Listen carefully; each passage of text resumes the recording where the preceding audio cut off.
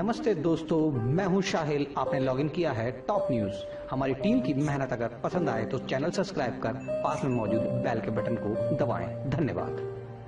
चित्रकूट में भीषण गर्मी से परेशान जनता और ऊपर से बिजली विभाग की कटौती। जनपद के लोग इसी के चलते बिजली कटौती को लेकर कल रात जनपद मुख्यालय में नेशनल हाईवे पर जाम लगाने के लिए मजबूर हो गए। विरोध प्रदर्शन तथा बिजली विभाग और मोदी सरकार के विरुद्ध जमकर नारेबाजी की गई। एक हफ़्ते से आठ आठ घंटे तक बिजली मिलने से नाराज़ जनपद वासियों ने बिजली मिलने के लिए शासन प्रशासन से गुहार लगाई और पानी की समस्या के लिए भी शासन को अवगत कराया।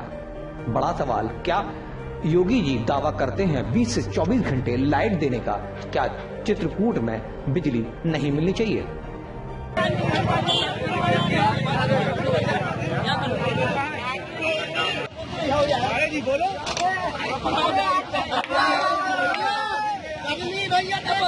¡Se